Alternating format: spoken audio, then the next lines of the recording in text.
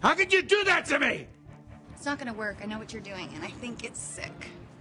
How could you think this of me? Not a word about this to anyone. Ever. I'm going to do everything and anything to stop it. You are my husband. No, I'm not.